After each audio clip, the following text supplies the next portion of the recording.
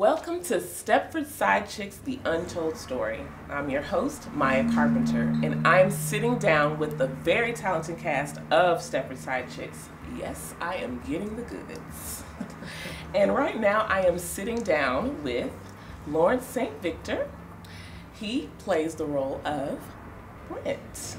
Without giving too much away, what can we expect from your character? Oh man, uh, I think you can expect a guy who will show you how complicated love can be, Mm. how sexy love can be too.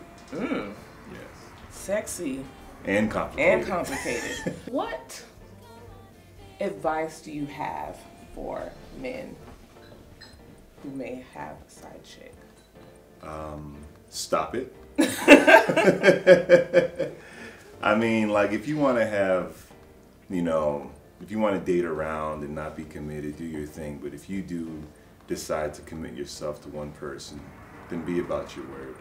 I'm not really with the side chick mm-hmm. lifestyle. So my thing is, if I can't be in a relationship with you, I just won't make you my girlfriend mm. and make it clear because I don't want to be the dude that has a girlfriend, another girl on the side. You know, I mean, you did, it's two Valentine's days, it's two birthdays, it's two anniversaries. That's a, that's a lot. That's a lot. That's a like lot. that, you know, I, I would assume that person would You know, get caught at. It's too much juggling and too Yeah. much lying, and Yeah. you know, it's too much. You can get caught up. You can get caught up, and then for what?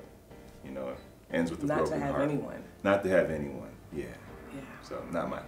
I would like to know where could people find you on social media? Oh, you can just type in Lawrence Saint-Victor on Instagram, Twitter, and Facebook, and I'll pop right up. All right. Yeah. Thank you.